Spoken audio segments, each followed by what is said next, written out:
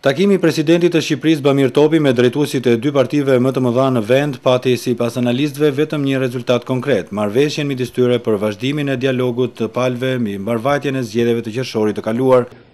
I gjithë background-i i këtyre marrëdhënieve, në një kontekst të caktuar, patjetër që nuk bën që biseda apo dialogu të dalë me përfundime ekstremisht pozitive.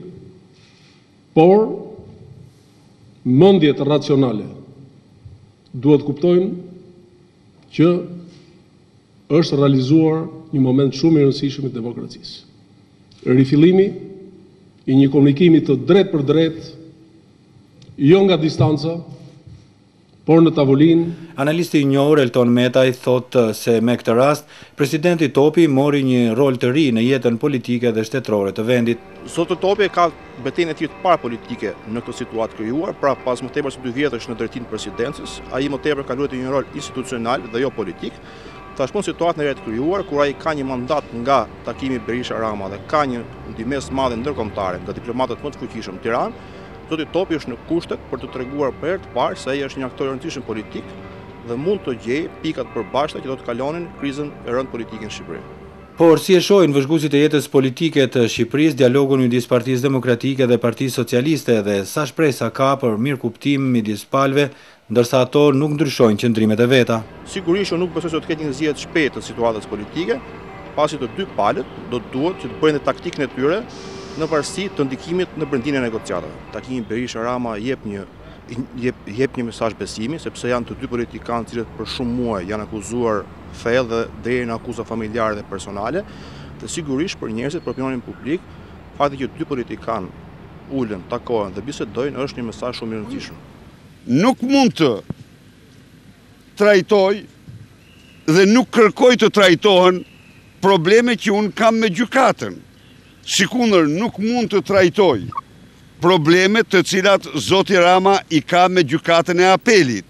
E sqarova zotin Berisha se ne nuk kemi punë. as me vendimet e gjykatave dhe as me ndonjë përpjekje për të përmbysur rezultatin e nxjerrë në rrugë ligjore përmes hetimit parlamentar. Një tjetër gazetar dhe analist i njohur, Aleksandër Çipa, duket skeptik kur thotë se është ende herët të shihen rezultatet konkrete, gjykuar edhe nga ajo se me sa sinqeritet iu afruan palët tryezës së presidentit.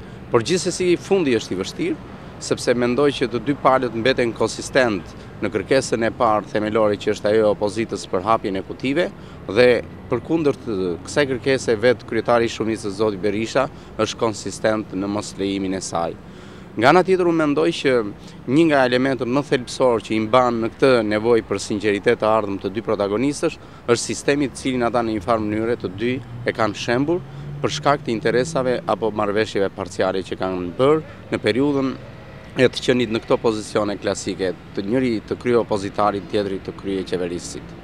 Por nga ana tjetër, si e vlerëson analisti Zef Preçi, ngurtësimin e qëndrimeve me bojkot të Parlamentit dhe kundërshtimet mbi hapjen apo jo të kutive të votimit? Por gjithsesi mendoj që janë ende larg, jo nga këndvështrimi i raporteve midis tyre, pasi siç e thotë edhe shtypi ata janë një SMS larg njëri-tjetrit, por sa i takon rrugëzgjidhjeve që do të ruanin fytyrën e tyre për qëndrimet që kanë marrë deri më sot. Domethënë, qëndrimi i zotit Rama për të insistuar deri në fund për hapjen e kutive, ndonëse nuk ka gjetur mbështetje ndërkombëtare, ka krijuar një konfuzion në publik, në një farë mënyre e ka larguar vëmendjen nga mënyra si ai u zgjodh. Kurse qëndrimi refraktar i zotit Berisha për moshapjen e tyre është i mbështetur në ligj, ka një mbështetje të gjerë ndërkombëtare dhe një farë mënyre do t'i kthente gurët në pikën e fillimit, pra do të krijonte një situatë pushteti në tavolinë dhe jo më në institucione. Ndërsa optimizmin e presidentit Topi pas takimit me kryeministrin Berisha dhe kryetarin e Partisë Socialiste të Opozitës Rama, analistët e vlerësojnë gjithsesi si një dritë në fund të një tuneli